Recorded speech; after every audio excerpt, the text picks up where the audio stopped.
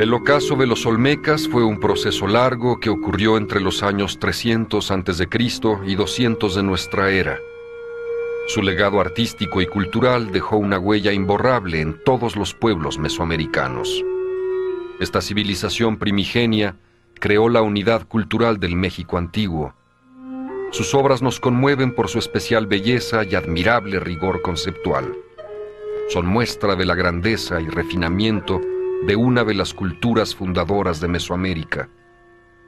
¿Acaso los misterios de este arte único y los enigmas de su inconfundible estilo quedarán para siempre sepultados en la selva de los tiempos?